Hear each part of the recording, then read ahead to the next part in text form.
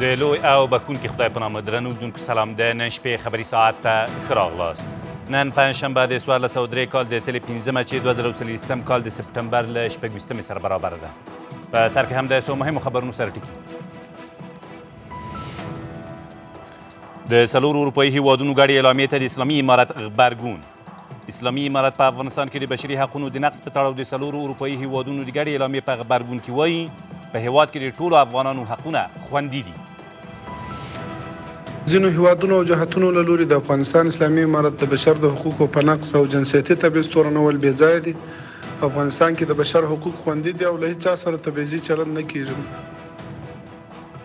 د افغانستان پر وړاندې د نړیوالو پر کمکارۍ د ازبکستان نیوکې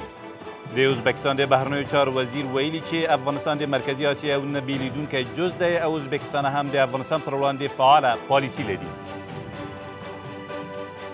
له بده مرغه نړیوالې ټولنې هغه اقدامات نه دي کړي چې د دغه هیواد د ستونزمن وضعیت له ښه کېدو سره مرسته وکړي په پروان ولایت کې د یوې ساري ناپېژندې ناروغۍ خپرېدل په تیرو څلوېښتو ساعتونو کې پر یادې ناروغۍ دوه سوه کسان اخته شوي او له امله یې تر اوسه دوه تنه مړه شوي هم دي آمار ما تا امروزه 700 نفر مسابین هستند و فعلا دو دانه فوتی داریم بچه که ما در مدرسه بود و ما اول کردن رفتم در اونجا که بسیار وضعیتش خراب است په زابل کې د تورې اوبو بند چارو پای ته رسیدل په زابل کې د یو سل اووه ویشت میلیون افغانیو په لګښت د تورې اوبو بند ګټه اخیستنې ته وسپارل شو او پر لبنان د اسرایلو د بریدونو دوام د لبنان پر سویلي سیمو د اسرایلو په هوایي بریدونو کې لږ تر لږه یو پنځوس کسان وژل شوي او دوه سوه درویشت نور ټپیان شوي دي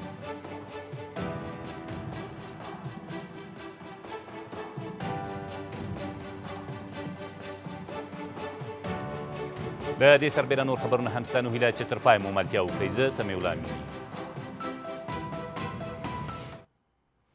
اسلامي امارت په افغانستان کې د بشري حقونو د نقص په تړاو د څلورو اروپایي هیوادونو د ګډې اعلامیې په غبرګون کې وایي په هیواد کې د ټولو افغانانو حقونه خوندي دي د اسلامي امارت د ویاند مرستیال د سرپرست حکومت پر وړاندې د لویدیځوالو دغه ډول څرګندونې عجیبې ګڼي. د اسوشیتد پریس د راپور له مخې، لاهې محکمې ته د دغې مسئلې د سپارلو لپاره د جرمني له طرحې څه باندې شلو هېوادونو ملاتړ هم کړی دی. د جرمني د بهرنیو چارو وزارت د یو اعلامیې په خپرولو سره ویلي، د دغه هېواد د بهرنیو چارو وزیرې په افغانستان کې د ښځو د حقونو پر خوندیتوب ټینګار کړی دی. مېرمن انالانا بربوک دغه راز پر هغه څه چې په افغانستان کې د بشري حقونو نقض بللی، اندېښنه څرګنده کړې ده او د لاهې محکمې ته یې د دغې مسئلې پر وړاندې کولو ټینګار کړی دی. ما میتونیم با سه کار که به نفع مردم افغانستان است از تمام انتقادها خود را در امان میندازیم که مکاتب خلاص کنیم پانتون و دانشگاه خلاص بکنیم و زمینه های کار بر خانم ها مساعد بسازیم و بر عبد افغانستان از این انتقادها نجات بدیم وروسته بیا اسټرالیا هم د طالبانو له خوا د ښځو پر وړاندې تبعیض د ټولو ډولونو د لمنځه وړلو د کنوانسیون له ژمنو د سرغړونې له امله له جرمني، کاناډا او هالنډ سره یو ځای شوه. د دغه هېواد بهرنیو چارو وزارت په یوې اعلامیه کې ویلي، له دې پرېکړې دوه ویشت نورو هېوادونو هم خپل ملاتړ اعلان کړی دی.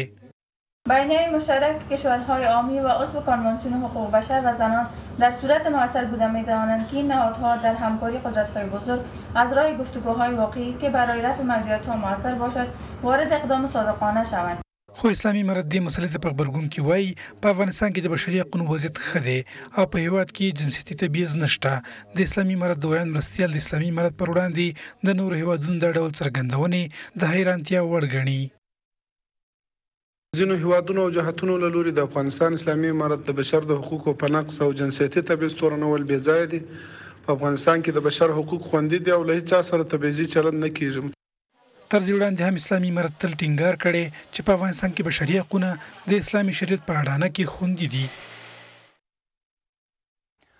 سترې محکمې د یوې اعلامیې په خپرولو سره ویلي چې د دغه بنسټ یو شمېر چارواکو د اسلامي امارت له رهبر سره کتلي او د قضایه قوې په تړاو یې خبرې کړې دي.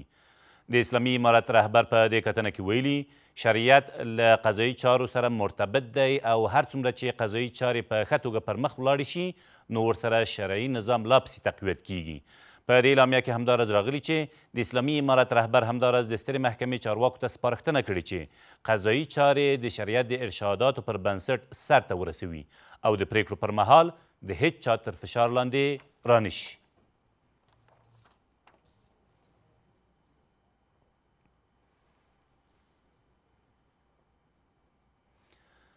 د ازبکستان د بهرنیو چارو وزیر د ملګرو ملتونو په نهویایمې عمومي غونډه کې پر هغه څه چې د افغانستان پر وړاندې د نړیوالو کمکارۍ ګڼي نیوکې وکړي د هغه په وینا افغانستان د مرکزی اسیا یو نه بیلیدونکی جز دی او ازبکستان هم د افغانستان پر وړاندې فعاله پالیسی لري له بل لوري د ایران ولسمشر د یادې غونډې په څنډه کې له خپل تاجکستاني سیال سره په کتنه کې د افغانستان د مسایلو په اړه د تهران او دوشنبه ترمنځ پر لا زیاتو همکاریو او همغږیو ټینګار کړی دی.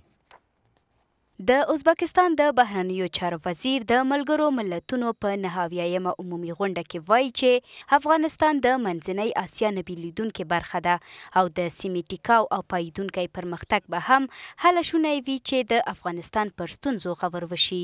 بختیار سعیدوف د افغانستان د ستونزو په هفاري کې د نړیوالې ټولنې پر کم کارۍ نیوکه وکړه او په دې برخه کې یې د ملګرو ملتونو رول مهم وباله. بختیار سعیدوف دغه راز ټینګار وکړ چې هېواد یې د افغانستان پر وړاندې فعالانه سیاست پر مخ وړي. د سیمې د ټیکاو او پایېدونکي پرمختګ د تضمین کیلي د افغانستان ستونزو ته په رسیدګۍ کې ده. افغانستان د منځنۍ اسیا نه بېلېدونکې برخه ده.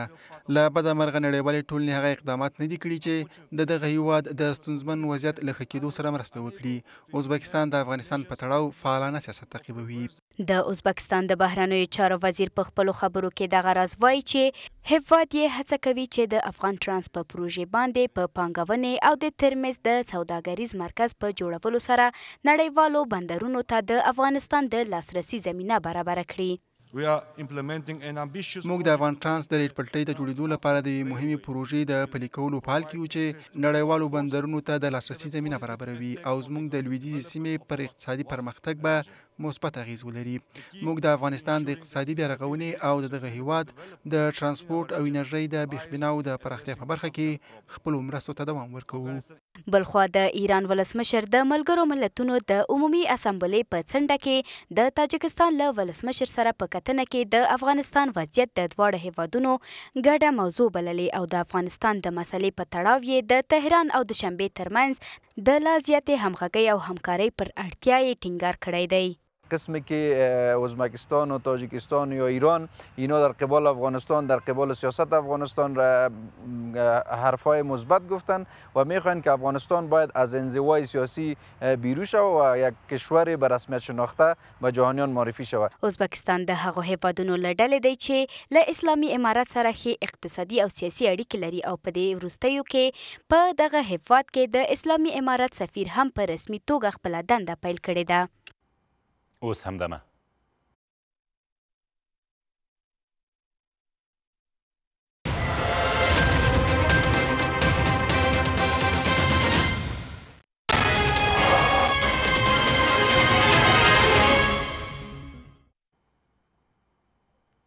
اوس هم د خبرونو دوام په قطر کې د اسلامي امارت د سیاسي دفتر مشر سهیل شاهین وایي په ممنوعه نوملړ کې د اسلامي امارت د چارواکو د نومونو موجودیت له نورو هیوادونو سره د کابل د اړیکو پر وړاندې ستر خنډ دی سهیل شاهین تولونیوز ته وایي سرپرست حکومت غواړي چې د دوړخیزو ملي ګټو په رڼا کې له ټولو هیوادونو سره خپلې اړیکې لا پسې پراخې کړي تر دې مخکې د روسیې د بهرنیو چارو وزارت ویلي چې له ممنوعه نوملړه د اسلامي امارت د چارواکو د نومونو د حذفولو کره نېټه لا تر اوسه روښانه نه ده. د روسیې د بهرنیو چارو وزیر ویلي، د ممنوعه ډلو له نوملړه د اسلامي امارت د چارواکو د نومونو د لرې کېدو بهیر د دغه هېواد په قانون کې بدلون ته اړتیا لري او له همدې امله دا چاره ژر شونې نه ده. د دغه وزارت معین د روسیې له ریوا نوسټي خبري اژانس سره په خبرو کې د کابل او مسکو د اړیکو پر پراختیا ټینګار کړی او ویلي دي چې دا اړیکې له ممنوعه نوملړه د اسلامي امارت د چارواکو د نومونو لرې کېدو ته اړتیا لري. یکی روسیه میگه که حذف نام طالبها از لست تروریستی به وقت و مراحل قانونی ضرورت داره به نظر من یک بهانه است ما می دانیم که در روسیه تمام کارها و یا اکثرت کارها صرف با یک امضای آقای پوتین حل می شود. په روسیه کې د ممنوعه ډلو له نوملړه د اسلامي امارت د چارواکو د نومونو د لرې کېدو طرحه د روان کال په لومړیو کې د دغه هېواد د بهرنیو چارو او عدلیې وزارتونو له لوري جوړه شوه او د تایید لپاره کرملین ماڼۍ ته ولېږل شوه او تر اوسه یې هېڅ پایله نه ده خپره شوې. باید روسیه، چین و امثال از او ممالکی که میخواهند در رابطه به حذف نام مسئولین امارت اسلامی اونا یک تصمیم را اتخاذ بکنند که جنبه عملی داشته باشه باید اقدام خود فورا بکنند ای که اینا این را به تعویق میندازند روی ملحوظات است که نزد خودشان است. په دې لړ کې په قطر کې اسلامي امارت د سیاسي دفتر رئیس سهیل شاهین تورنیوز ته وايي، په تور نوم لړ کې اسلامي امارت د چارواکو نومونه او نور خنډونه چې له سرپرست حکومت سره د مثبتو اړیکو مخه نیسي باید لرې شي. ما امیدواریم لیست سیاه و دیگر موانع که در راه روابط مثبت مانع هستند برداشته شوند تا در روشنی منافع ملی دوجانبه روابط گسترده داشته باشیم. دا په داسې حال کې ده چې تر دې وړاندې په منځنۍ اسیا کې قزاقستان او قرغیزستان د ممنوعه ډلو له نوملړه د اسلامي امارت د چارواکو نومونه لرې کړي دي. د پروان ولایت د شینوار ولسوالۍ مسؤلین د دغې ولسوالۍ په کفتان دره کې د یوې ناپېژندې ناروغۍ له خپرېدو خبر ورکوي. د دوی په وینا، په تېرو څلوېښتو ساعتونو کې دوه سوه کسان پر یادې ناروغۍ اخته شوي او له امله یې تر اوسه دوه تنه مړه شوي هم دي. تر دې مخکې د پروان ځايي مسؤلینو پر یادې ناپېژاندې ناروغۍ د شاوخوا پنځه سوه کسانو له اخته کېدو خبر ورکړی و. د پروان ولایت د شینوارو ولسوالۍ اړوند کافشان درې د روغتیايي مرکز مسول وایي په دې سیمه کې پر یوې ناپېژانده ناروغۍ باندې اوه سوه تنه اخته شوي دي چې له دې ډلې دوو تنو ژوند بایللی دی. دا ناپېژانده ناروغۍ چې تازه خپره شوې د زیاتېدو په حال کې ده او یوازې په تېرو څلرویشت ساعتونو کې دوه سوه تنه نور پرې اخته شوي دي. آمار ما تا امروزه هفتصد نفر مصابین هستند و فعلا دو دانه فوتی داریم. امروز سیزده نفر ما ریفر کردیم به شفاخانه ملکی پروان. تر دې وړاندې د پروان سیمه ییزو مسولینو پر دې ناروغۍ د پنځه سوه تنو له اخته کېدو خبر ورکړی و، چې په دې ډله کې مېرمنې او ماشومان هم شامل دي. دو ساعت رای موتر است دیگه رسیدگی کسی نمی تانه و امبلانس ضرور است دوا ضرور است داکتر ضرور است به خاطر از اینکه یک دره دور افتاده است. د دې سیمې اوسېدونکی جمعه خان د خپلې مېرمنې او لور روغتیايي حالت ته په اندېښنې سره له سرپرست حکومت او مرستندویه بنسټونو غواړي چې پر وخت د دې ناروغۍ نورې خپرېدا مخنیوي برخه کې اقدامات وکړي. دو نفر مریض داریم یکی هم خانم است یکی هم یک دخترکم است دیگه بسیار وضعیت جان خراب است یعنی وضعیت جان بعد خراب است که در راه رفتن نمیتونن به کمک ضرورت دارن که اینا رو بگیریم انتقال بدیم در اینجا بدني کمزوري، د عضلاتو شدید درد، نس ناستی او شدیده تبه د دې ناروغۍ نښې بلل کېږي.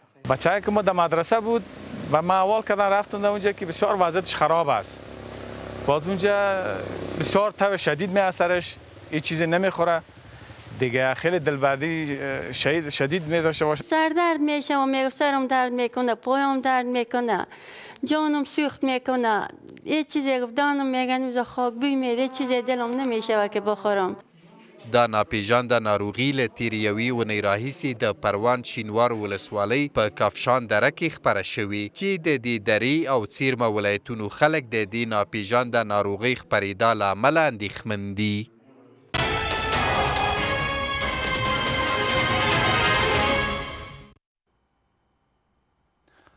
د رئیس الوزرا اقتصادي مرستیال په زابل کې د یو سل اوویست میلیونه افغانیو په لګښت د تورې اوبه بند ګټې اخیستنې ته وسپاره. د اوبو دغه بند د دوه اعشاریه نهه میلیونه متر مکعب اوبو د زیرمه کولو، د پنځه سوه شپېته هکتاره کرنیز ځمکې د خړوبولو او یو شپېته کیلوواټه برېښنا د تولید وړتیاوې لري. نور حال د عطاالله عمر په دې راپور کې. دا د زابل مرکز کلات ښار کې د تورې اوبو بند ګټې اخیستنې ته د سپارلو مراسم دي چې د ریاست الوزرا اقتصادي مرستیال او ځینو نورو لوړپوړو حکومتي چارواکو پکښې ګډون کړی و. د ریاست الوزرا اقتصادي مرستیال دغو مراسمو ته د خبرو پر مهال وايي چې دا مهال د هېواد ګوټ ګوټ کې د اسلامي امارت له لوري د ګڼو پرمختیايي پروژو عملي کېدو چارې روانې دي چې ګڼ شمېر هېوادوالو ته پکښې کاري فرصتونه هم برابر شوي دي.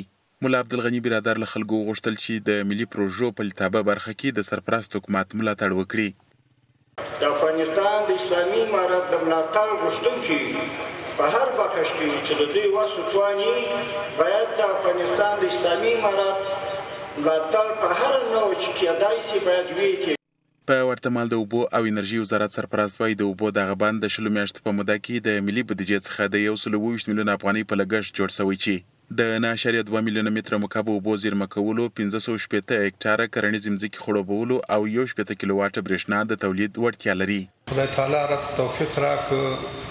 موږ صادق وختلو او په دواړو ولایتو کې هم په زابل کې هم په پکتیکا کې دي پل تونې بند سې ده دلته هغه ده موږ